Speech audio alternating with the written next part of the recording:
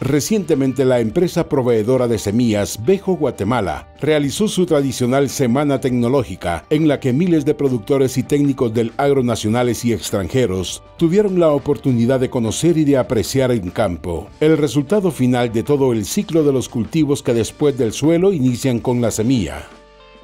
Somos una compañía que nos dedicamos al negocio de semillas de vegetales y como objetivo es que ellos conozcan la diversidad de cultivos que tenemos, como también cada una de sus variedades. Nosotros les enseñamos acerca de nuevas técnicas de manejo, por ejemplo, cintas de goteo, el uso de mulch, distancias.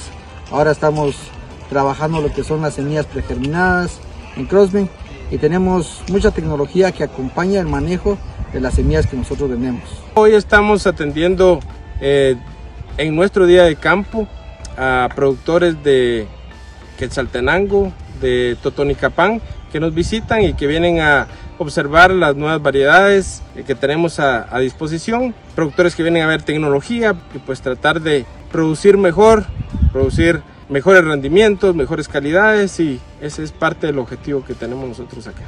Constantemente, sean o no nuestros clientes, tratamos de, trabajar con ellos de la mano, proveyéndoles eh, en muchos casos ideas, en muchos casos tecnologías y por supuesto las mejores semillas que nosotros disponemos para las diferentes condiciones, temporadas, climas que cada uno de los productores tiene. Cada persona que viene de todo lado de Shela, entonces cada quien ya sabes cuál es el que va a sembrar en sus lugares.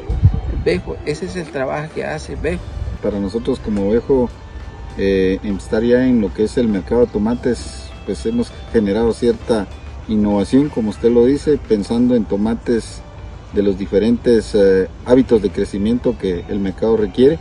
Uno de ellos es este que usted puede ver acá, que se llama Montelimar, que es un material que nosotros lo hemos estado introduciendo al mercado básicamente porque tenemos la calidad, eh, tamaño, la, productividad que, cualquier productor está buscando en cuanto a lo que es forma, tamaño.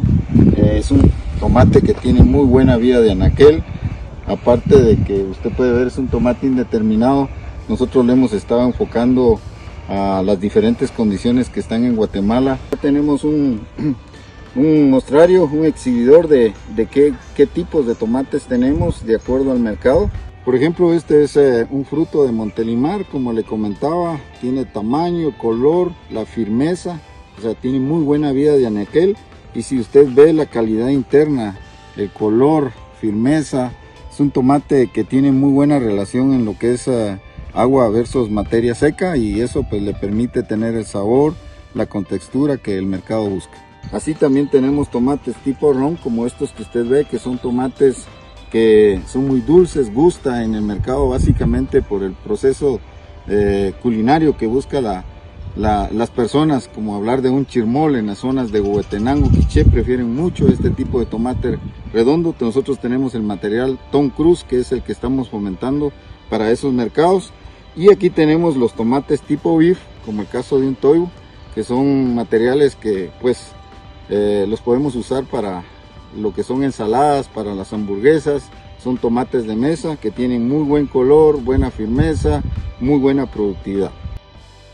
TV Agro Centroamérica felicita a Bejo Guatemala por esta actividad que indudablemente fortalece el conocimiento de los productores y sin lugar a dudas es la mejor carta de presentación que Guatemala puede tener como proveedor de semillas para el resto del mundo.